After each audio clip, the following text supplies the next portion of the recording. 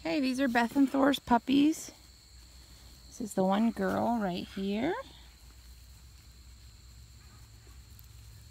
Your eyes are opening up. They'll be three weeks this Thursday. Today's Monday. These are the three boys.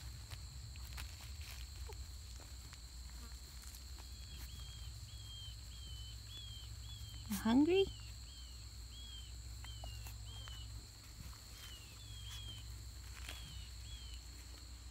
These four are doing really good. Yeah.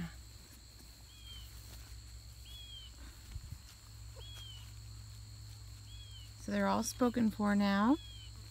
Deposit day was Saturday.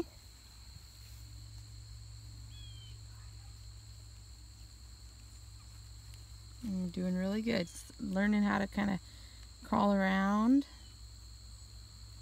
Their eyes just opened in the last few days. Aren't they cute? Yeah, you guys are adorable. Yeah, you are. They're doing really good.